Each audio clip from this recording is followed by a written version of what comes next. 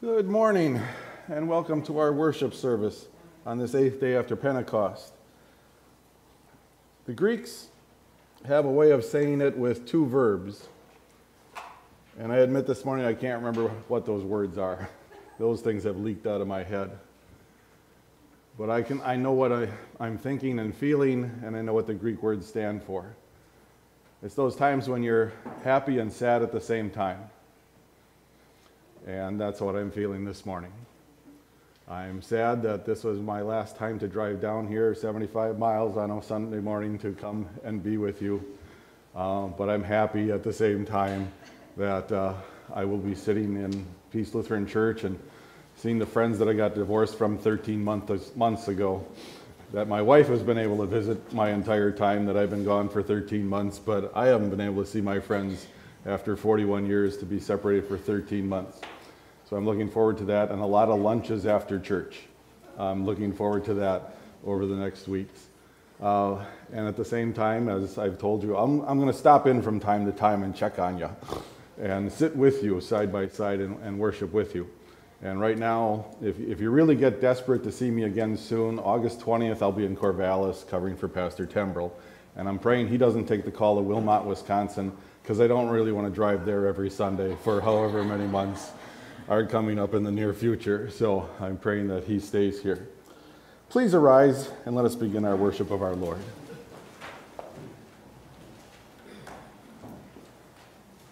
We worship in the name of the Father, and of the Son, and of the Holy Spirit. Amen. And let us join together in the first two verses of We Now Implore God the Holy Ghost.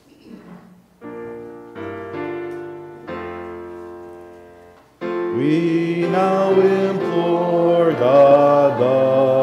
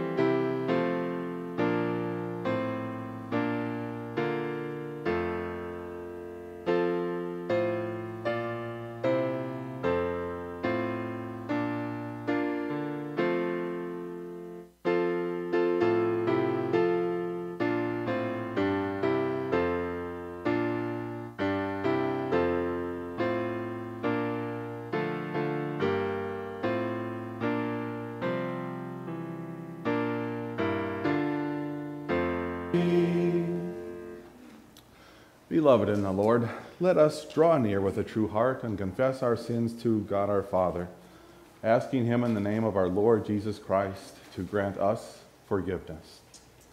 Holy and merciful Father, I confess that I am by nature sinful and that I have disobeyed you in my thoughts, words, and actions. I have done what is evil and failed to do what is good.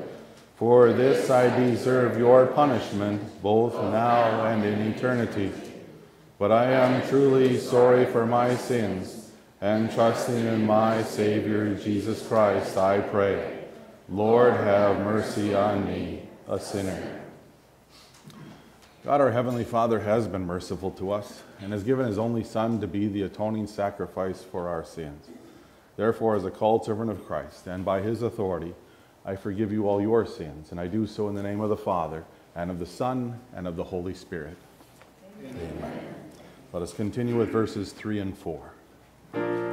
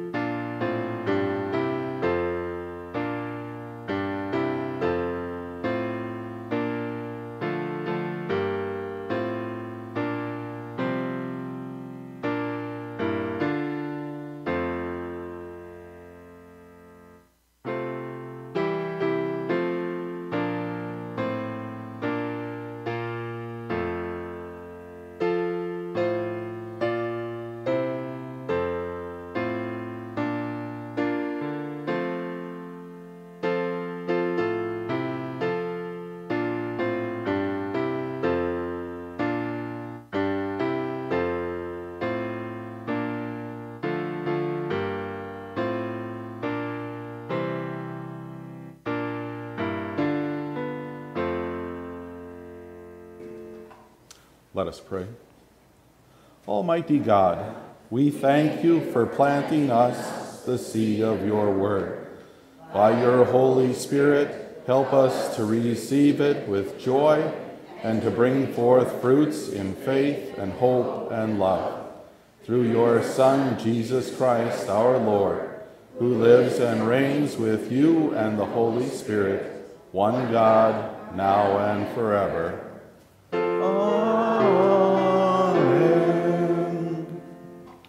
Please be seated.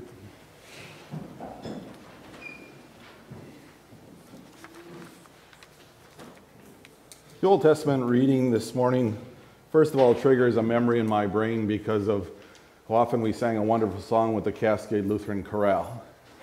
Uh, Portland area, some people from Salem even came up and joined us for that choir. They came from the Hood River and the Dalles area, and obviously from Vancouver, and sang the song to remind ourselves of God's promise of how His word will be effective if we just use it and listen to it here on this earth. Isaiah talks about the metaphor with water, precipitation, rain, and snow. Our gospel lesson this morning, will, which will also be the sermon, talks about it as seed and a farmer. That God will use His word to bring people to the knowledge that He loves them and cares for them and sent His Son to die for their sins so we can be in His heavenly home. Isaiah says it this way in verses 10 and 11 of, verse 50, of chapter 55 this morning. Just as the rain and the snow come down from the sky, and do not return there unless they first water the earth, make it give birth, and cause it to sprout, so that it gives seed to the sower and bread to the eater. In the same way, my word that goes out from my mouth will not return to me empty. Rather, it will accomplish whatever I please, and it will succeed in the purpose for which I sent it. Here ends the Old Testament lesson. Let us join together in singing Psalm 1.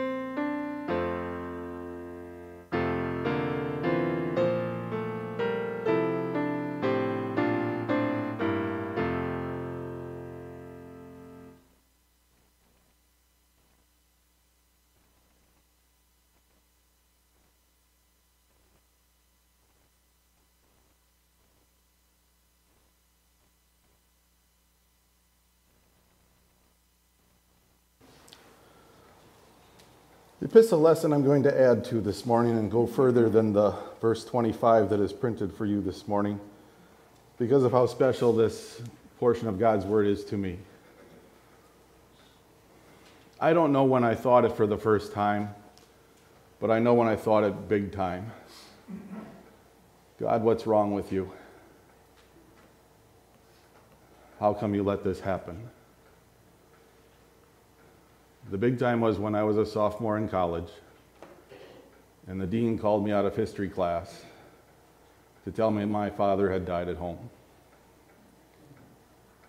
And as I got in my Mustang and headed from Watertown back to the south side of Milwaukee, I had those thoughts. I'm studying to be a minister. How can you let this happen to me? I challenged God. Not the smartest thought I've ever had in my life, but I had it. And in my ministry, I know many times when I've gone to a hospital to see a member who has been told, You've got this type of cancer, or, why, or they were in a car wreck or something else, and I knew they were thinking one of two things. Either they did something wrong that God caused this to do, get them sort of like karma, or God wasn't really loving them. And so these words from Paul to the Romans when he says, God does not sit there with a button and watch us, or two buttons. Oh, blessing. Oh, problem. Blessing, problem. Based on my or your behavior. There are times when he does something. You know, if you read Exodus and the children of Israel in the wilderness, there are times blessing, curse, blessing, curse, snakes, sometimes because they have gone too far. But it's not a daily, every moment quid pro quo. And Paul reminds us, as he said to the Romans, For I conclude that our sufferings at the present time are not worth comparing with the glory that's going to be revealed to us. In fact, creation is waiting with eager longing for the sons of man to be revealed. For creation was subjected to futility, not by its own will, but by the will of the one who subjected it, in the hope that even creation itself will be set free from slavery to corruption in order to share in the glorious freedom of the children of God. For we know that all of creation is groaning with birth pains right up to the present time. And not only creation, but also we ourselves, who have the first fruits of the Spirit. We groan inwardly while we eagerly await our adoption as sons, the redemption of our body. Indeed, it was for this hope we were saved. But hope that is seen is not hope, because who hopes for what he already has? But if we hope for something we do not see, we eagerly wait for it with patient endurance. In the same way, the Spirit helps us in our weakness. We do not know what we should pray for, but the Spirit Himself intercedes for us with groans that are not expressed in words. And He who searches our hearts knows what the mind of the Spirit is, because the Spirit intercedes for the saints according to God's will. We know that all things work together for the good of those who love God, for those who are called according to His purpose. Because those God foreknew, he also predestined to be conformed to the image of his Son, so that he would be the firstborn among many brothers. And those he predestined, he also called. Those he called, he also justified. And those he justified, he also glorified. Here ends the epistle lesson. The verse for the day is from Deuteronomy chapter 30, verse 14. Alleluia. The word is very near you, it is in your mouth and is in your heart so that you may obey it. Alleluia.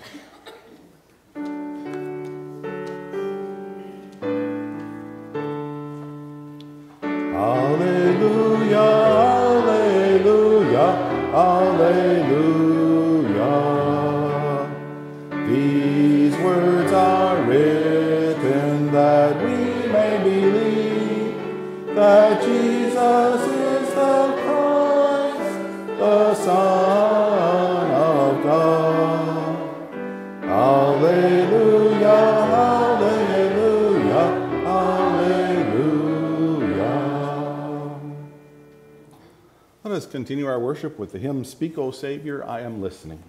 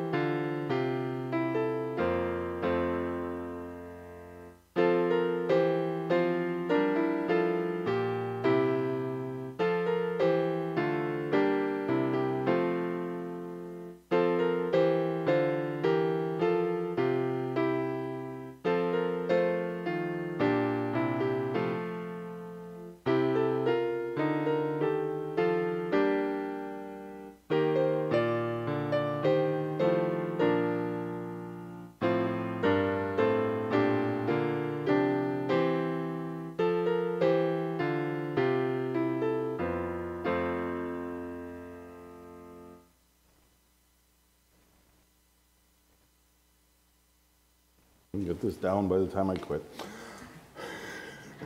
Grace be to you and peace from God our Father and from our Lord and our Savior Jesus Christ. Amen.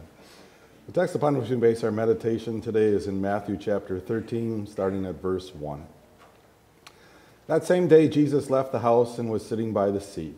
A large crowd gathered around him. So he stepped into a boat and sat down while all the people stood on the shore.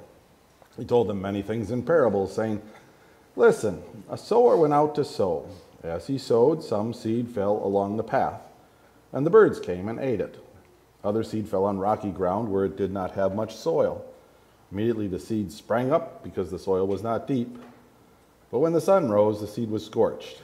Because it had no root, it withered away. Other seed fell among thorns. The thorns grew up and choked it, but some seed fell on good ground and produced grain, some 100 times, some 60, some 30 times more than was sown. Whoever has ears to hear, let him hear. So listen carefully to the parable of the sower. When anyone, anyone hears the word of the kingdom and does not understand it, the evil one comes and snatches away what has been sown in his heart.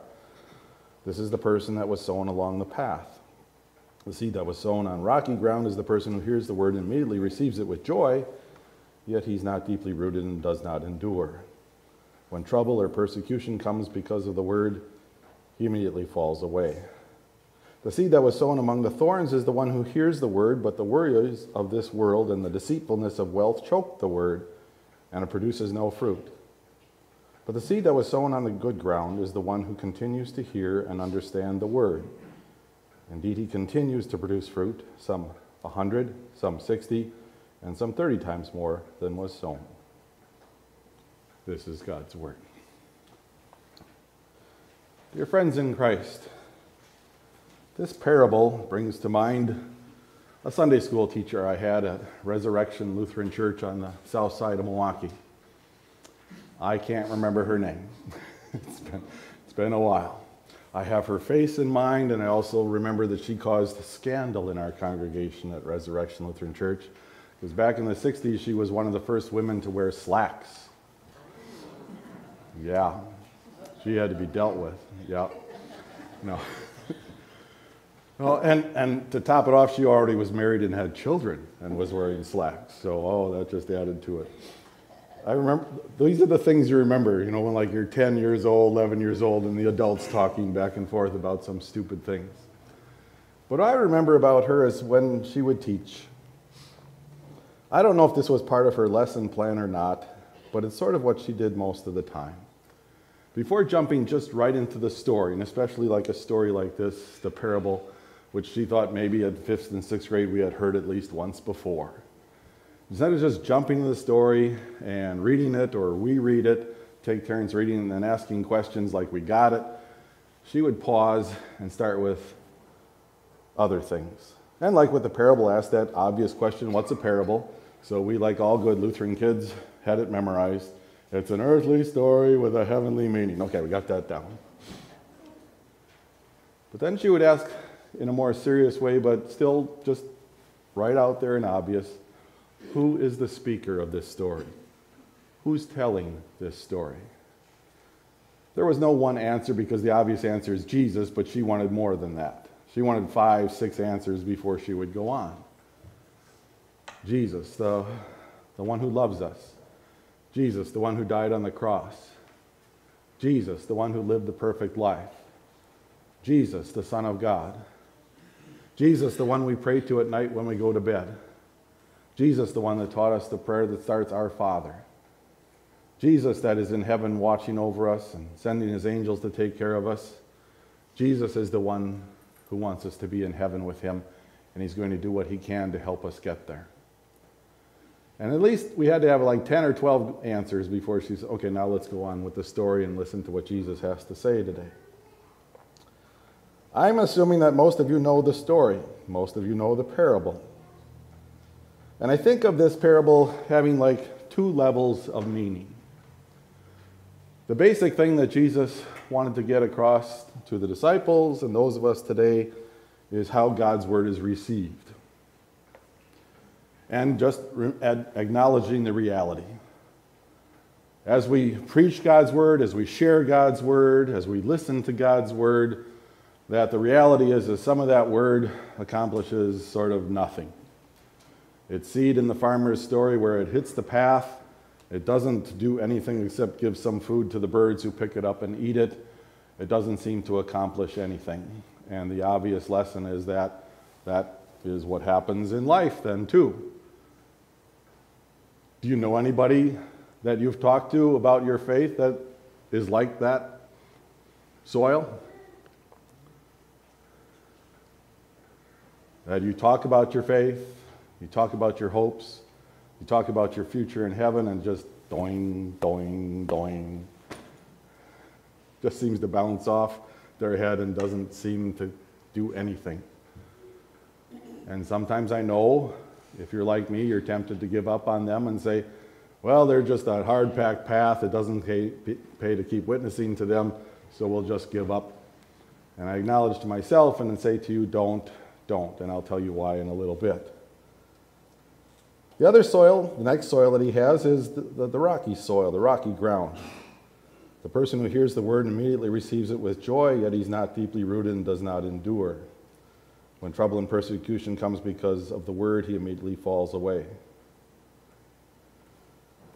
I've been around long enough to try to talk to people, even of other churches than my own, and hear simple things like, you know, my, when my daughter had a miscarriage, she stopped going to church, and I don't know how to get her back. Ever since my husband was disabled at work, he doesn't think there is a God. That is the reality. And trying to get people to think like Paul was trying to get people to think in that simple epistle lesson today that God did not just punish Adam and Eve for their original sin, but he cursed the planet. And so we have the same problem. Christians have the same problems as unbelievers as far as stuff happening to us that is bad.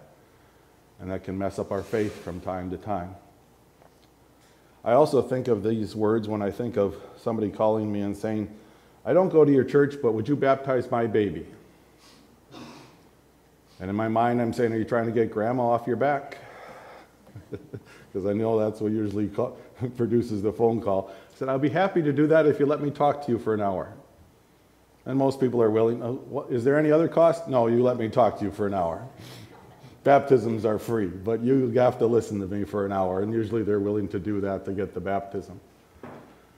But one of the things I tell them with baptism is not just that it is an awesome sacrament of God and gives the gift of faith and forgives sins to little children and babies as well as adults, which reminded I, I always take pleasure in when I when I baptized my girls when they were little no matter how good a teacher or preacher I am, I'm not going to get through them as much as what the Holy Spirit can do through his simple gift of faith.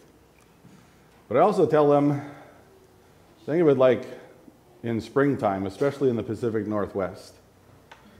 You till up a garden, you plant your seed, you put it the right depth, separate the rows correctly, you water it one time, and then you don't do anything till the end of August.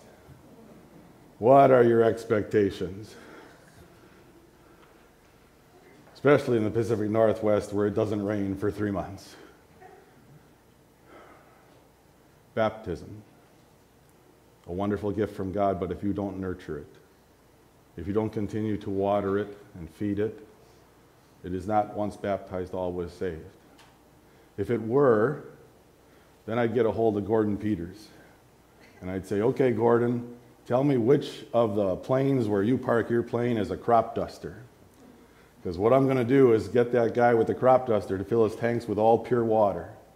And some Saturday in fall, we're going to fly over Beaver and Duck stadiums and yell out in the name of the Father, Son, and Holy Spirit. And we'll have 120,000 conversions, except for the Christians that are probably already there, if that's how it worked.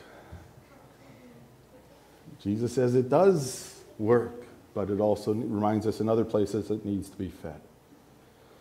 The third seed that was sown among the thorns is the one who hears the word, but the worry of this world and the deceitfulness of wealth choke the word, and it produces no fruit.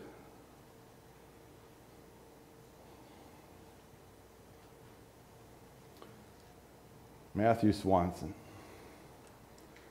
The other religions in the Pacific Northwest are not your challenge. It is the mountains and the ocean. It is Sunday soccer and a few other things as you get ready to do ministry in the Pacific Northwest. I'm not challenged by Catholics or Mormons, I can deal with them. But soccer on Sunday mornings, that's tough. That's a hard battle I haven't always won. What's more important?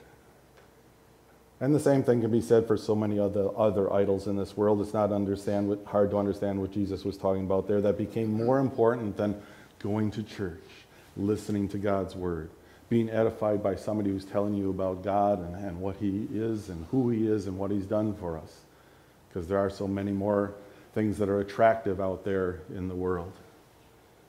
And then the last one the seed that was sown on the good ground, and the one who continues to hear and understand it, he continues to produce fruit. Some 100, some 60, and some 30 times more than was sown.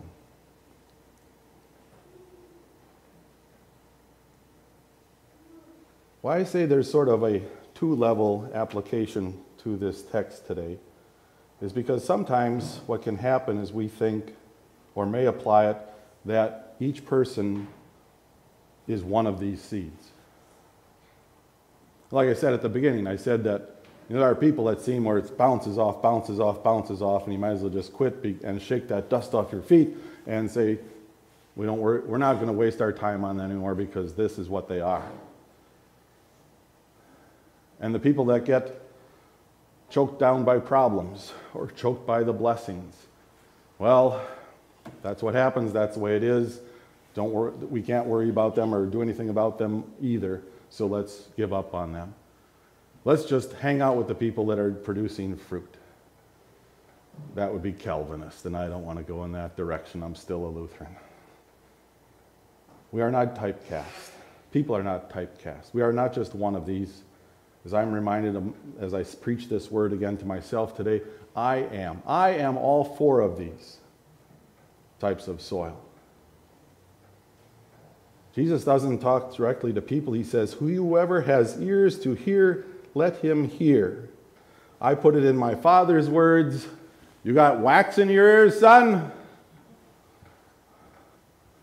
Do I need to interpret?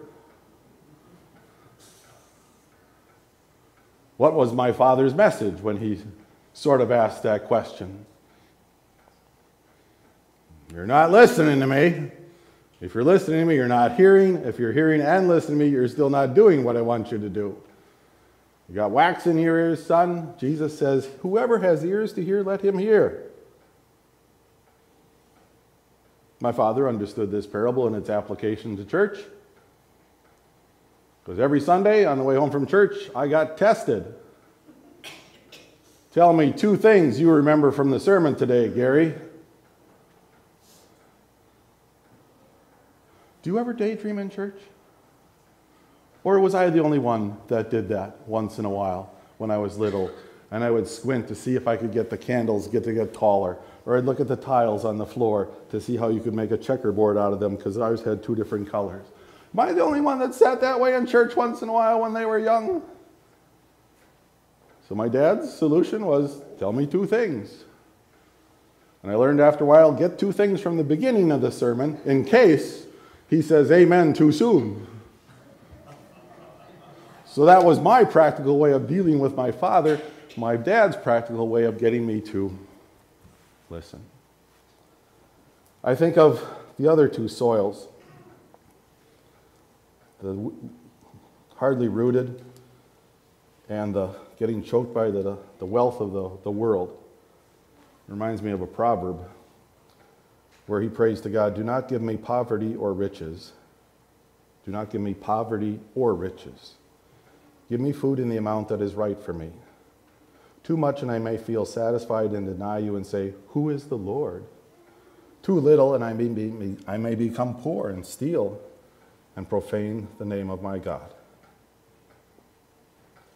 If you're like me, you ask God to keep your problems to a minimum. Keep them small, infrequent, easy to deal with. But maybe you've never prayed for small blessings instead of big ones. Maybe you've never prayed for minimum good things to happen in your life and asked God to keep you away from large blessings. I don't pray that often, just when I'm reminded of this text. But I do pray it because I've seen it happen where people had too big a problem and it, it did take them away from their relationship with God, and they had too many blessings and that took them away from their relationship with God. And so I think about that with this problem mm, today that yes, help me with my problems and help me with my surplus so that my relationship with you, God, stays sure. Couple of weeks ago, maybe a month ago, I told you I know it's harder for you to sit there than it is for me to stand up here. I mean, you don't have to prepare to come and sit there. I got to prepare to say something. But I'm thinking about what's going to happen to me next week when I have to sit in the pew and listen to somebody else talk. That's going to take work. It takes work on your half, behalf to get the wax out of your ears and listen. That's why we got a parable like this that Jesus understood that. Even in a situation where he's in a boat and they're standing on the shore. You just got a mess because you're under construction. But they stood on the shore and listened to Jesus because they knew who he was and, and, and where his heart was. But next week, I'm thinking, what do I need to do to make sure that I do the right job? Well, I'm getting prepared. So that I behave well, I have my Cheerios, and I have my, oh no. Good thing those weren't crayons. I got colored pencils so that I do not annoy my wife who hasn't had to sit next to me for many, many years. I'm ready.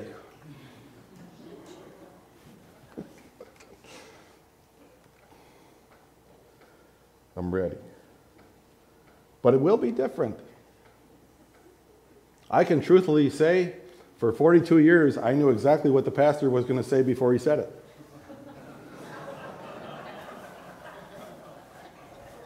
Nobody's going to call me a liar on that. I know exactly what I'm going to say before I say it. Next week, I won't.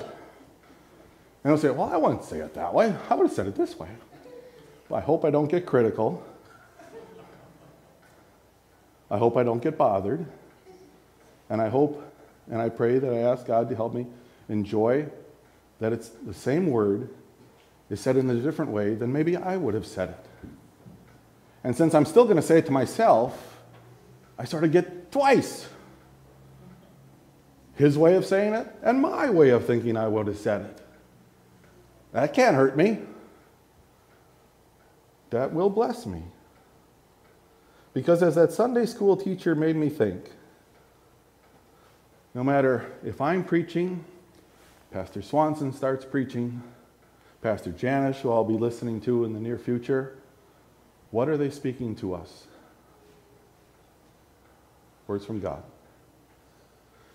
Trying to get us to understand it through our English way of speaking, but they're still going to be speaking the words from God. And who is this?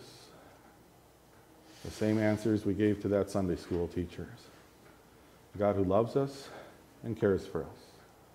A God wants us to be in his heavenly home who loved us so much he sent his son to die for our sins, and Jesus willingly got on that cross to get punished for stuff that I did wrong, so I won't have to get punished for that. And I get to live where? For how long? And the best part in my brain is I will be young again. You young people don't understand that glory yet. Us older people understand what it'd be like to be 22 again shortstop, playing softball, golfing and hit a ball, hit a drive more than 150 yards. I mean, all these things.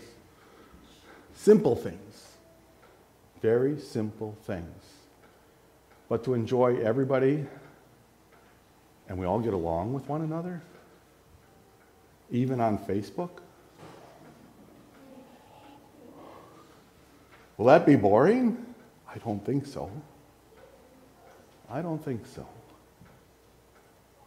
And so I think of that again with the simple words today of using my ears to hear what Jesus wants me to hear.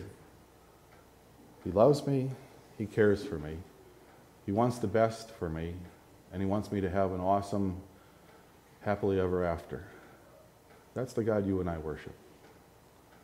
That's a God who's worthy of worship and our praise, and our telling our friends and family and even strangers who He is and what He wants to do for us, and share the word with them too. Let's do it even when it's frustrating once in a while. Because it's awesome when somebody responds. It's awesome when somebody responds the right way and you get to see the joy in their hearts and in their minds and on their face and in their worship. It's wonderful. It is for me too when I come to church and knowing that this is all true. This is all really true. Amen. Please arise.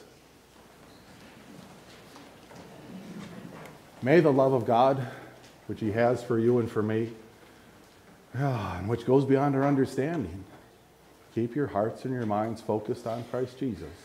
Amen. Let us join together in professing our Christian faith today using the words of the Apostles' Creed. I believe in God, the Father Almighty, maker of heaven and earth. I believe in Jesus Christ, his only Son, our Lord, who was conceived by the Holy Spirit, born of the Virgin Mary, suffered under Pontius Pilate, was crucified, died, and was buried. He descended into hell. The third day he rose again from the dead. He ascended into heaven and is seated at the right hand of God the Father Almighty. From there he will come to judge the living and the dead. I believe in the Holy Spirit, the holy Christian church, the communion of saints, the forgiveness of sins, the resurrection of the body, and the life everlasting. Amen. Having gathered our offering, let us please bring it forward and let us join together in verses 1 and 3 of Lord of All Good.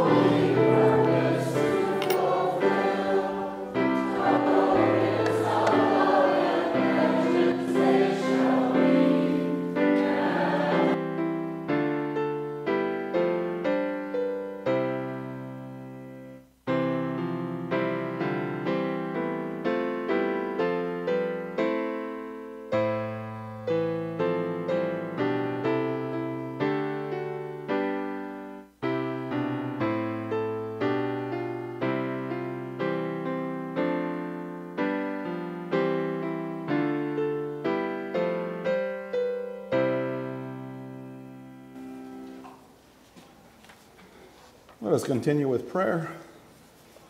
O Lord, our Heavenly Father, we praise and worship you again today for all the kindness and goodness you have shown to us, your children. Purely because of your great love for us, you have adopted us to be your own. You have poured out your Holy Spirit on us that we might know you.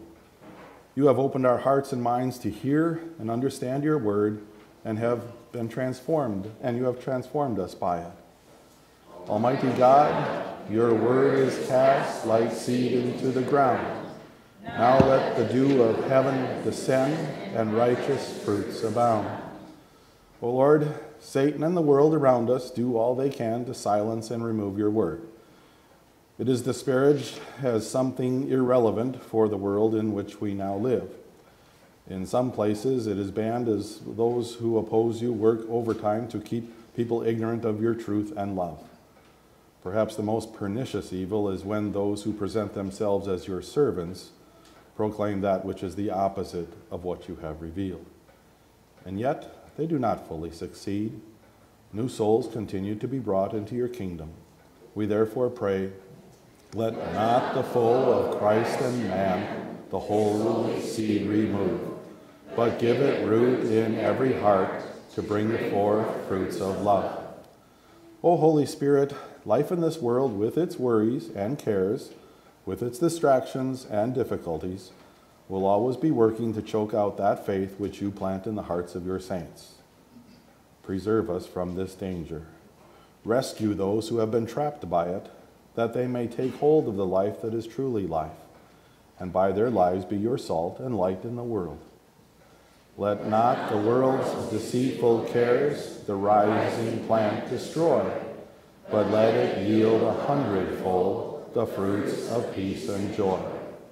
Lord of the church, your people are scattered throughout the world, and sometimes the groups in which they come together as small as two or three.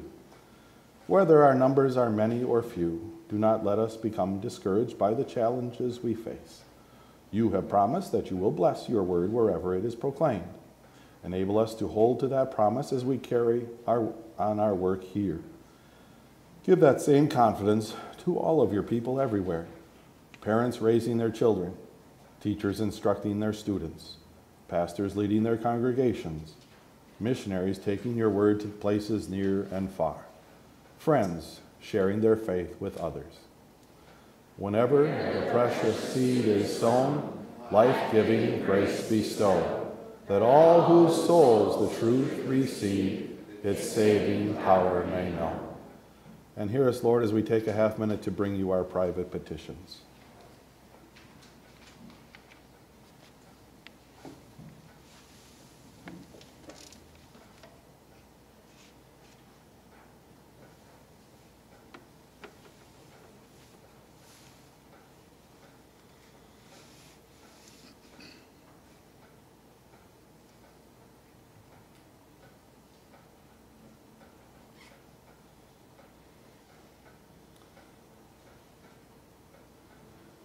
These and all our prayers we bring before you, confident that you will hear and answer them, because our Savior has taught us to pray.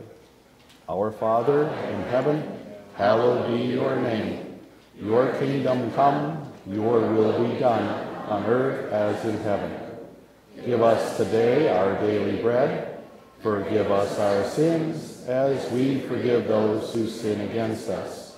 Lead us not into temptation but deliver us from evil. For the kingdom, the power, and the glory are yours, now and forever. Amen. Brothers and sisters, go in peace, live in harmony with one another, and serve the Lord with gladness. The Lord bless you and keep you. The Lord make his face shine upon you and be gracious to you. The Lord look upon you with his favor and give you his peace.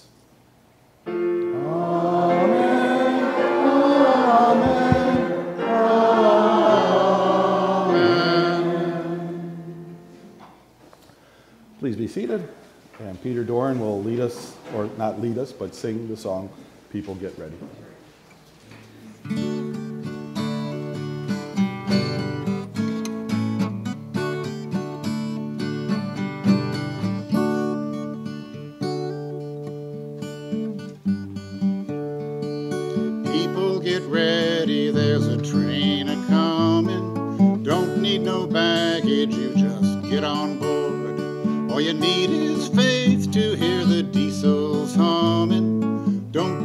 Ticket,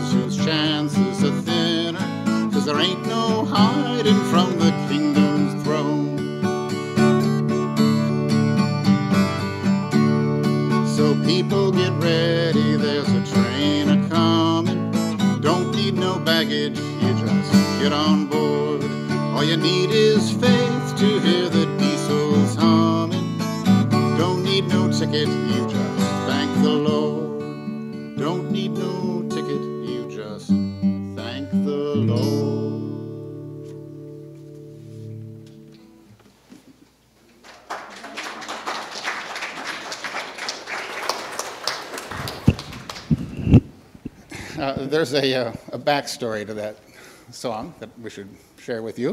Uh, a few weeks ago, several of us were uh, trying to come up with what might be an appropriate gift to, uh, to give to, to Pastor Cracklow for his uh, diligent sharing of the gospel with us for these last uh, many, many months.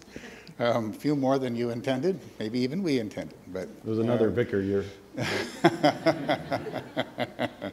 but the, as usual, the Lord uh, has worked things out pretty nicely. Um, so, at any rate, thinking about this gift, um, we uh, didn't want it to involve Burger King or, or Mountain Dew. Um, so we, we asked we asked They Lynn. listen, they listen to what I say.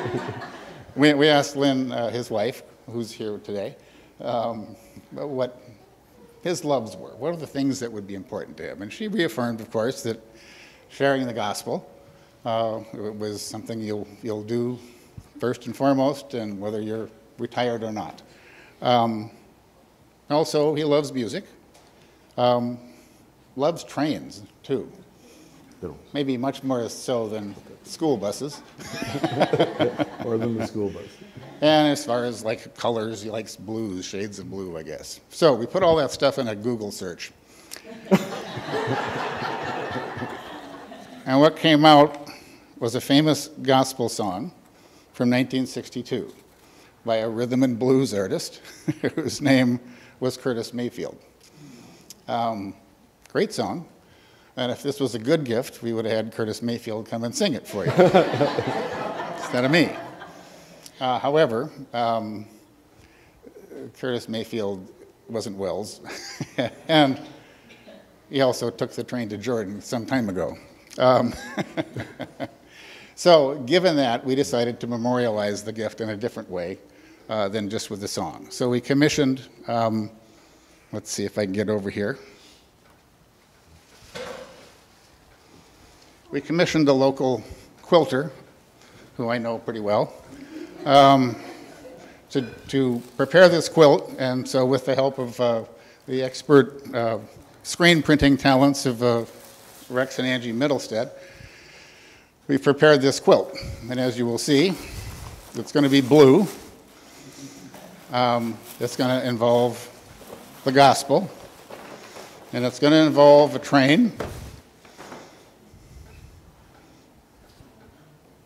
And I think it's going to involve everything we said it should, including music.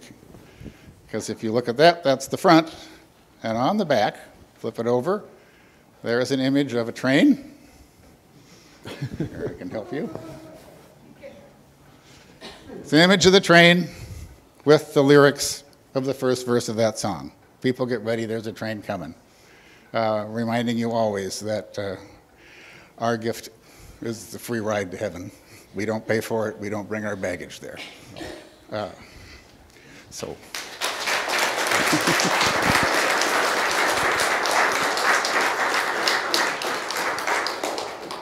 well, that's all I got. So I said it would be a, a sad day and, and a happy day, yeah, too. So, thank you. Thank you. Announcements? No more speeches, just announcements? I'm not going to waste my breath following Thank something you, like thank that. Um, what I have been told, though, I could have some announcements, but the food's ready to uh, follow the practice they have in Portland, which Gary's going to be familiar with, is we're going to have a metering program. In other words, we're going to say the prayers for the meal up here. We'll have Pastor Crackle lead us in that. And as we usher people out and they have to go past him, that will automatically slow down the line going past the food so we can get through nice and orderly. Uh, the pattern for that is as you get into the fellowship hall, go to the left, go through the small door, go past all the desserts. You can't take those first, kids. Go, go past the desserts. Uh, the food is in the hallway, then you come back into the fellowship hall and find the place where you want to sit. And so, I have mine yet. okay. Okay. Let us join together in our two common table prayers. Before we do that, Oh, Bob has something. before we do that, please. I have two things. First, the reminder of the golf tournament on September 10th. And the second thing is, Kaylee, would you come up here, please? In keeping with tradition, we have a birthday.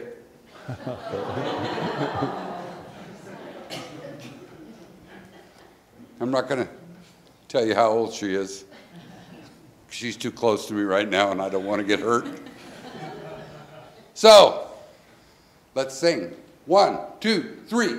Happy birthday to you. Happy birthday to you.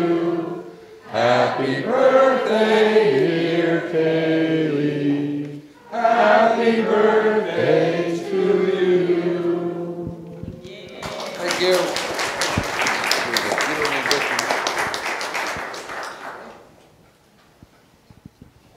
And the obvious is that 4 o'clock this afternoon, Pastor Swanson will be installed as your new pastor, and that will also have a dinner after that. So pace yourself for lunch, because there's, there's more to come. Uh, let us join together in prayer. Come, Lord Jesus, be our guest, and let these gifts to us be blessed. We'll give thanks unto the Lord, for he is good, for his mercy endures forever. Amen.